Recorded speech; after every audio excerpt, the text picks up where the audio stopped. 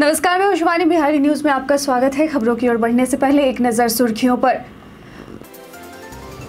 बिहार सिपाही भर्ती वेबसाइट का पता बदला। नई वेबसाइट पर मिलेगा भर्ती जानकारी। सिपाही भर्ती जानकारी अब इस लिंक पर।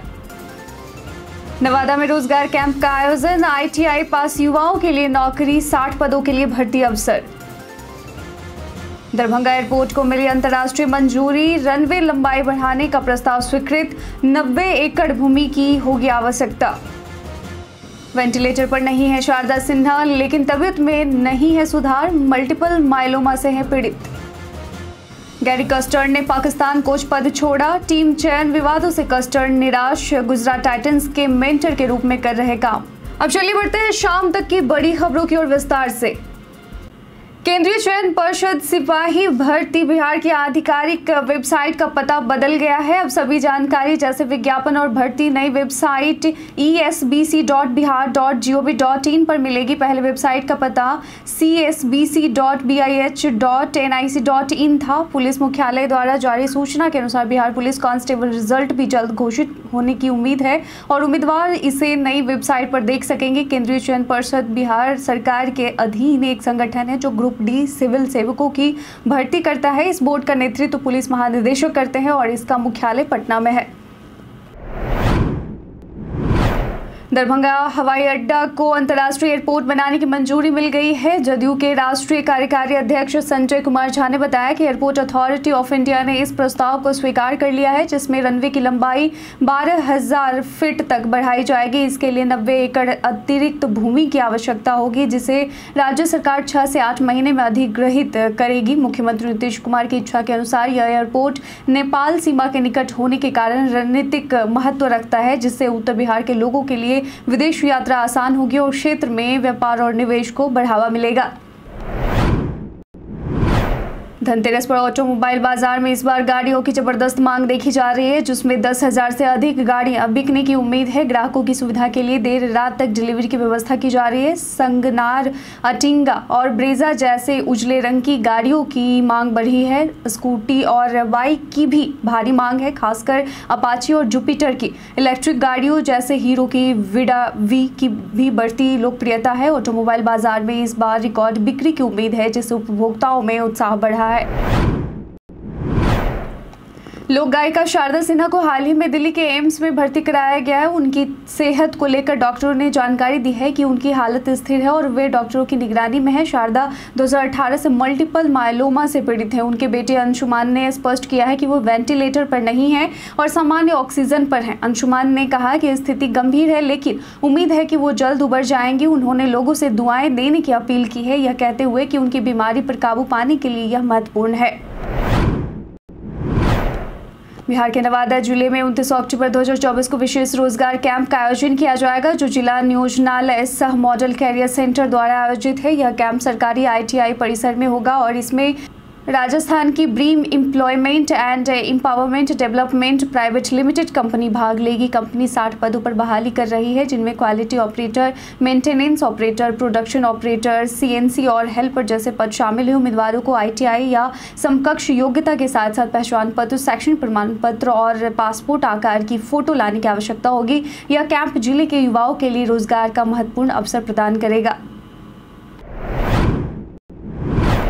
बिहार की राजधानी पटना में रामकृष्ण नगर पुलिस ने एक फर्जी दारोगा अरविंद कुमार पासवान उर्फ़ विपुल पासवान को गिरफ़्तार किया है। वह खुद को एजी कार्यालय में तैनात बताकर स्थानीय दुकानदारों से उगाही कर रहा था। पिछले छह महीने से वह एक किराए के मकान में रह रहा था और वर्दी पहनकर लोगों में खौफ पैदा करता था। स्थानीय लोगों की शिकायत पर पुलिस ने उसे पकड़ा। जब वह पूछताछ के लिए थाने लाया जा रहा था, उसके पास वर्दी पड़ने प्लेट भी नहीं मिली। पुलिस मामले की जाँच कर रही है और अन्य संभावित शिकायत शिकारियों की खोज जारी है। दिवाली और छठ पर बिहार आने वाले यात्रियों के लिए कठिनाइयाँ बढ़ सकती हैं। सभी ट्रेनों में सीटें फुल हैं और एयरलाइंस ने किराए को पाँच गुना बढ़ा दिया है। उदाहरण के लिए इकतीस अक्टूबर को दिल्ली से पटना का किराया तेईस हज़ार आठ सौ सतहत्तर रुपये है। पटना एयरपोर्ट पर इंडिगो छः और स्पाइस जेट ने दस नई फ्लाइट्स बढ़ाई हैं, लेकिन किराए में कोई कमी नहीं आई है। पटना एयरपोर्ट का नया टर्मिनल नए साल तक तैयार होने की उम्मीद है, जिससे यात्री सुविधाएँ बेहतर होंगी।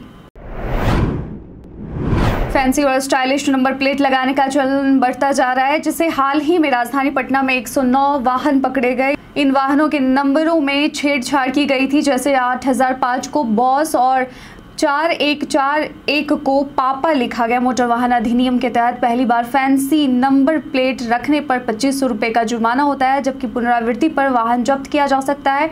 तीसरी बार पकड़े जाने पर रजिस्ट्रेशन समाप्त करने का प्रावधान है। परिवहन विभाग ने हाई सिक्योरिटी रजिस्ट्रेशन प्लेट लगाना अनिवार्य किया है। पुलिस उन वाहनों के मालिकों पर नज़र रख रही है, जिनके नंबर अस्पष्ट हैं या जिन्हें अपनी पसंद के अनुसार रंगीन या सजाया गया है, छेड़छाड़ की गई है। दरभंगा ज़िले में महिला पर्यवेक्षिका के 48 रिक्त पदों पर अनुबंध के आधार पर भर्ती प्रक्रिया शुरू हो गई है। यह अवसर आंगनवाड़ी सेविकाओं के लिए है, जिन्हें न्यूनतम 10 वर्षों की सेवा के आधार पर पदोन्नति मिलेगी। अधिकतम उम्र सीमा 45 वर्ष है और आवेदन 4 नवंबर तक ऑनलाइन और ऑफलाइन दोनों माध्यमों से स्वीकार किया जाएगा। हालाँकि दिव्यांग सेविकाओं के लिए कोई आरक्षण नहीं दिया गया, जिससे मानवाधिकार संरक्षण प्रतिष्ठान ने डीएम को लिखित शिकायत की है। इस भर्ती में विभिन्न आरक्षण कोटे के तहत पदों का विवरण भी दिया गया है। आवेदन के लिए न्यूनतम शैक्षिक योग्यता, मैट्रिक है और अन्य प्रमाण पत्र संलग्न करना अनिवार्य है। बक्सर ज़िले में गंगा पर तीन लेन का नया पुल निर्माण जल्द शुरू होगा। जो पूर्वांचल एक्सप्रेस वे को बक्सर, पटना एन एच से जोड़ेगा। हालाँकि प्रस्तावित अलाइनमेंट के कारण स्थानीय प्रशासन चिंतित है क्योंकि यह घनी आबादी वाले क्षेत्र से होकर गुजरेगा, जिससे बक्सर गोलंबर के पास जाम की समस्या और बढ़ सकती है। सदर एसडीओ ने डीएम से सड़क और पुल निर्माण एजेंसियों को एलिवेटेड रोड बनाने का सुझाव दिया है। उनतीस अक्टूबर को इस मुद्दे पर बैठक बुलाई गई है। नए पुल से यातायात बढ़ने की संभावना है, जिससे हादसों का खतरा भी बढ़ सकता है। यह पुल बिहार और उत्तर प्रदेश को जोड़ेगा जिससे आवागमन सुगम होगा।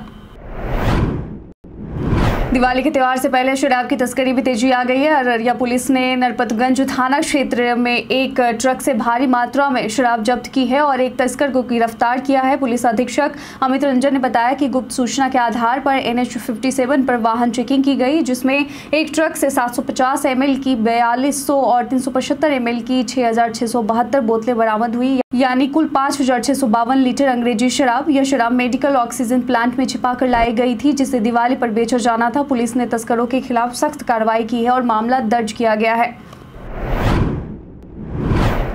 बिहार में भागलपुर के सुल्तानगंज अगुवानी घाट पुल के ढहने से नेशनल ग्रीन ट्रिब्यूनल चिंतित है और इस मामले में केस दर्ज किया गया है। एनजीटी ने सात एजेंसियों जैसे Bihar state pollution control board और भारत सरकार की मिनिस्ट्री ऑफ़ जल शक्ति को पार्टी बनाया गया है। चार जून को हुए इस हादसे से विक्रमशिला गंगा डॉल्फिन अभ्यारण्य को नुकसान पहुँचने का दावा किया गया है। इंजीनियर हेमंत कुमार ने बताया कि मलबे से जलचर पारिस्थितिक तंत्र प्रभावित हो सकता है। आगामी सुनवाई 6 जनवरी 2025 को कोलकाता में होगी, जहाँ सभी एजेंसियों के प्रतिनिधि पेश होंगे।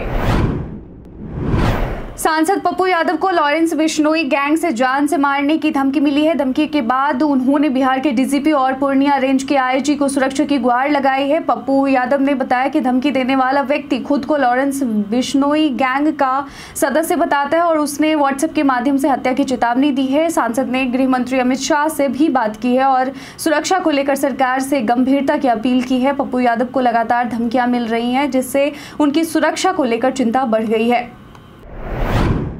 बक्सर ज़िले के धनसोई बाज़ार में राष्ट्रीय लोक मोर्चा का सदस्यता महापर्व आयोजित हुआ है, जिसमें राष्ट्रीय अध्यक्ष उपेंद्र कुशवाहा ने कार्यकर्ताओं को संबोधित किया। उन्होंने काराकाट सीट के लोकसभा चुनाव परिणाम को साजिश का परिणाम बताया, लेकिन कहा कि वह सांसद बनने से नहीं रुके।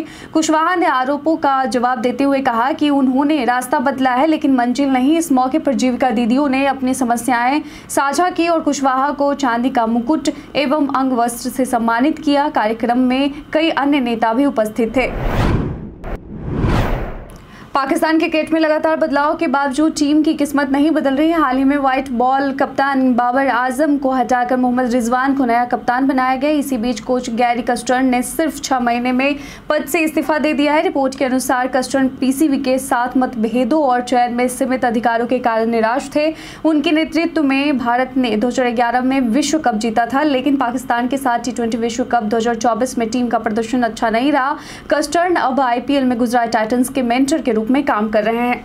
बीते दिन हमारे द्वारा पूछे गए सवाल का आप लोगों में से बहुत लोगों ने अपना जवाब में कमेंट सेक्शन में लिख कर दिया था, जिन्होंने पूछे गए सवाल का जवाब दिया उनके नाम है पप्पू कुमार, रंजीत मिश्रा, कौशलेंद्र कुमार सिन्हा, रवि कुमार राम, जितेंद्र ठाकुर, राजकिशोरी महतो, विनोद महात्मा, रवि मोहन वर्मा, छोटू राजा। इसके साथ ही बढ़ते हैं आज के सवाल की ओर। आज का सवाल है कि क्या आपको लगता है कि ट्रेनों और फ्लाइट्स के बढ़ते किराए यात्रियों के लिए समस्या बन रहे हैं? अपना जवाब है कमेंट सेक्शन में लिखकर ज़रूर बताएँ। आज के लिए बस इतना ही। धन्यवाद।